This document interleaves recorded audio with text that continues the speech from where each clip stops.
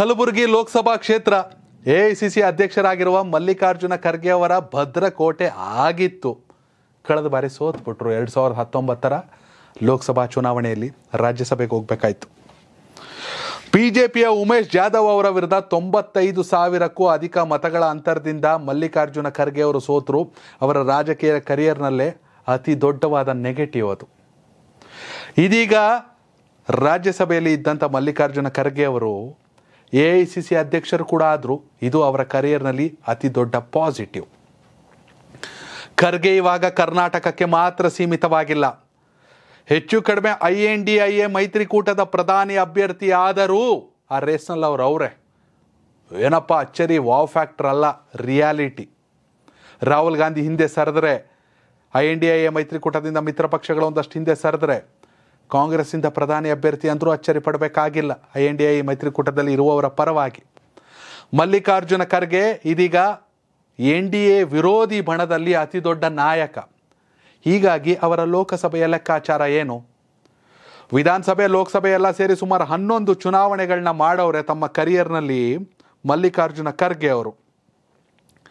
ಹನ್ನೊಂದು ಚುನಾವಣೆಗಳಲ್ಲಿ ಸೋಲಿಲ್ಲದ ಸರ್ದಾರ ಅನ್ಸ್ಕೊಂಡವರು ಎರಡು ಸಾವಿರದ ಹತ್ತೊಂಬತ್ತರಲ್ಲಿ ಲೋಕಸಭೆಯಲ್ಲಿ ಸೋತು ಬಿಟ್ರು ಇದೀಗ ಮತ್ತೆ, ಯಾಕಂದರೆ ಕಲಬುರಗಿ ಅಂದಾಗ ಉಮೇಶ್ ಜಾಧವ್ ಅವರು ಬಿ ಜೆ ಪಿಯಿಂದ ಆಲ್ಮೋಸ್ಟ್ ಫೈನಲ್ ಅನ್ನೋ ಮಾತುಗಳು ವಾಟ್ ಅಬೌಟ್ ಮಲ್ಲಿಕಾರ್ಜುನ ಖರ್ಗೆ?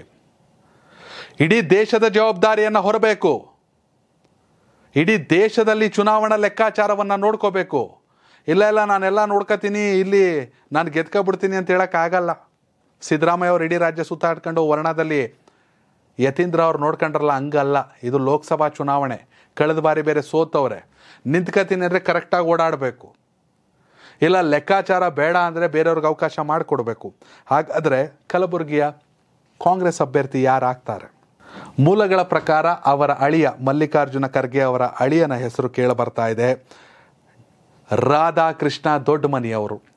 ಅವರನ್ನು ಕಣಕ್ಕಿಳಿಸ್ಬೇಕು ಅವ್ರನ್ನ ರಾಜಕೀಯದಲ್ಲಿ ಅವರ ಭವಿಷ್ಯವನ್ನು ಉಜ್ವಲವಾಗಿಸಬೇಕು ಅನ್ನೋ ಮಾತುಗಳು ಕೂಡ ಕೇಳಬರ್ತಾ ಇದೆ. ರಾಧಾಕೃಷ್ಣ ದೊಡ್ಡ ಮನೆಯವ್ರದ್ದು ಮತ್ತೊಂದು ಕಡೆ, ವಿಧಾನಸಭಾ ಚುನಾವಣೆಯಲ್ಲಿ ಚಿಂಚೋಳಿ ವಿಧಾನಸಭಾ ಕ್ಷೇತ್ರದಿಂದ ಸ್ಪರ್ಧಿಸಿ ಕೆಲವೇ ಮತಗಳ ಅಂತರದಿಂದ ಸೋತಿದ್ರು. ಸುಭಾಷ್ ರಾಥೋಡ್, ಬಂಜಾರ ಸಮುದಾಯದವರು. ಅವರ ಹೆಸರು ಕೂಡ ಕೇಳಬರ್ತಾ ಇದೆ. ಹೀಗಾಗಿ ಮಲ್ಲಿಕಾರ್ಜುನ ಖರ್ಗೆ ಅವರು ಕಣಕ್ಕಿಳಿಯದೇ ಇದ್ದಲ್ಲಿ, ಅವರ ಜಾಗದಲ್ಲಿ ರಾಧಾಕೃಷ್ಣ ದೊಡ್ಡಮನಿ ಅಥವಾ ಸುಭಾಷ್ ರಾಥೋಡ್. ಚಿಂಚೋಳಿಲಿ ಸೋತಿದ್ರು, ಅವರ ಹೆಸರುಗಳು ಕೇಳ ಬರ್ತಾ ಇದೆ. ಉಮೇಶ್ ಜಾಧವ್ ಅವರ ವಿರುದ್ಧ ಅಥವಾ ಬಿ ಜೆ ಪಿಯ ಯಾವುದೇ ಅಭ್ಯರ್ಥಿ ವಿರುದ್ಧ? ಇದು ಸದ್ಯ ಕಲಬುರಗಿ ಲೋಕಸಭಾ ಕ್ಷೇತ್ರದ ವ್ಯಾಪ್ತಿಯಲ್ಲಿ ನಡೆಯುತ್ತಿರುವಂಥ ಅತಿ ದೊಡ್ಡ ಲೆಕ್ಕಾಚಾರ.